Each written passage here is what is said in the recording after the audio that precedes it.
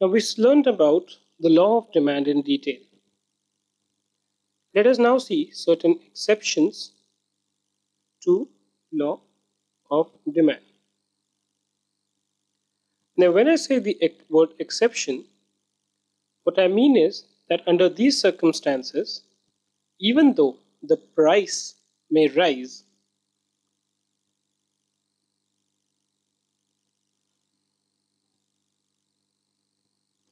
even though the price may rise, the total quantity demanded also rise.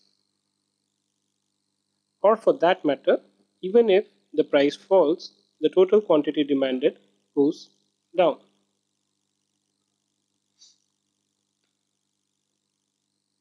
Now let's see how does this work? What are the reasons? What are the circumstances under which this happens?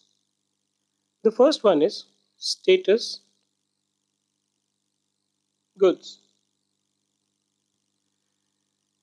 Now, what are status goods? Status goods are something which are associated with the status of an individual. Now, what do you mean by this? Let's say you have a high branded jewelry.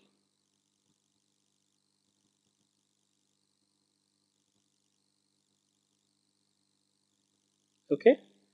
Now, if you have a branded jewelry which is considered as a mark of status, even though the price are high,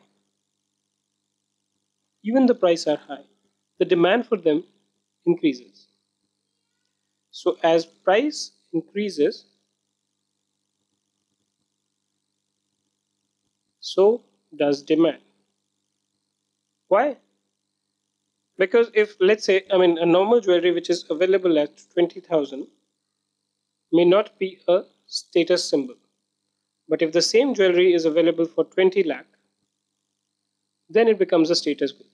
So even though there was an increase in the price, the quantity demanded increases because now it became a symbol of status of the person.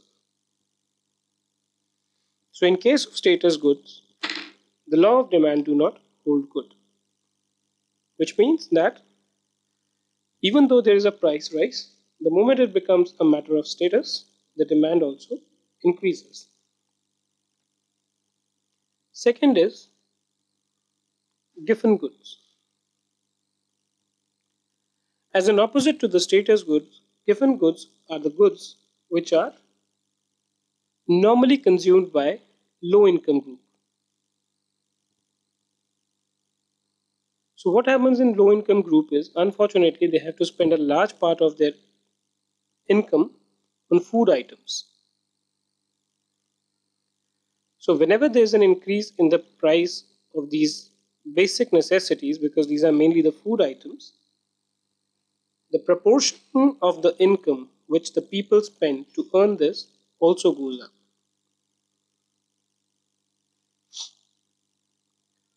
Why? Because even if you were earning 100,000, you were spending, let's say, 40% on food, you were spending 400. But even if there's an increase in the price of this, so let's say whatever was available for 400 earlier is now available for 600, even then you will spend the 600 on them. The demand will not fall even though there is an increase in price. Why? Because these are basic necessities and are used by normally the low income groups. Third, price rise expectations.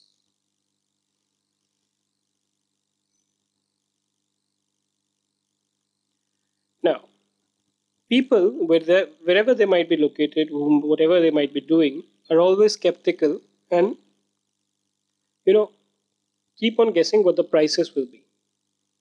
Let's say you have certain goods which you know you have to use in future period. Whenever there is an expectation that the price is going to rise, people tend to buy more.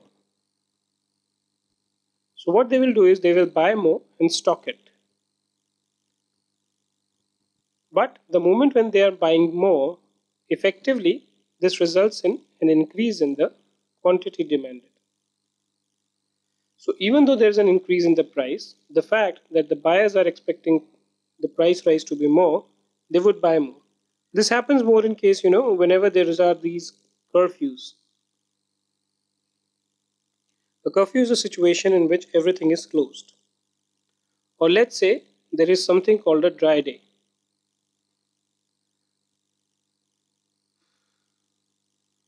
Dry day is a situation when no liquor is available and therefore normally what happens is that people know that if it is not available, if they have to get it from someone else, that is going to cost them a lot more.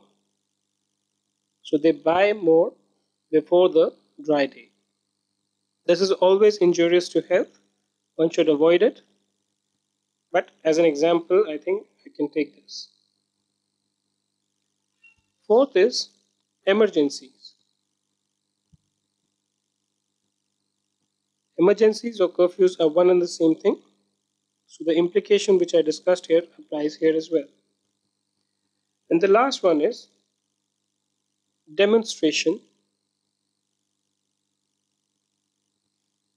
effect. Now we also we also that you know there are every now and then there are movies coming in. And in the movies, the stars wear the best wear the best of the costumes. Ladies wear the best of the saris, jewelries, and all. Now, the price of all these commodities is normally high. But because people want to imitate, they want to look like the stars, even if the price increases, they tend to buy more of these commodities. Why?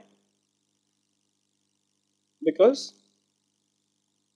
people try to imitate and buy these as a measure of show, showing their status.